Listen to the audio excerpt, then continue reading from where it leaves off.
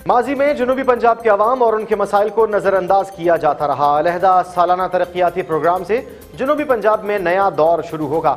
वज़ीर अजम इमरान खान का अजलास में इजहार ख्याल वज़ीर अला पंजाब और दीगर वजरा ने वीडियो लिंक के ज़रिए शिरकत की।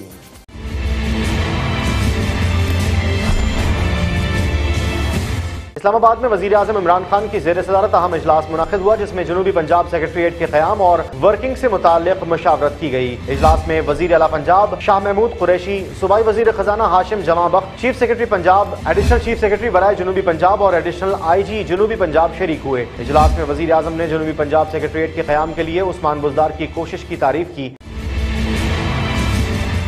वज़ीर अजम ने कहा कि जनूबी पंजाब को शनाख्त देने के लिए अमली इकदाम हमारे मंशूर का हिस्सा हैं। माजी में जनूबी पंजाब के मसाइल को नजरअंदाज किया जाता रहा। अब हम जनूबी पंजाब को शनाख्त देने के लिए अमली इकदाम उठाएँगे। इजलास में वज़ीर अजम इमरान खान ने सूबाई मालियाती अवार्ड की ज़रूरत आरोप भी ज़ोर दिया। वाजह है की यकम सितंबर को शाह महमूद कुरैशी ने एक ट्वीट के ज़रिए खबर दी थी की जनूबी पंजाब सेक्रेटरीट को फाल बनाने के लिए ब्यूरोक्रेसी में आला सतही तैनातियाँ हो गई हैं।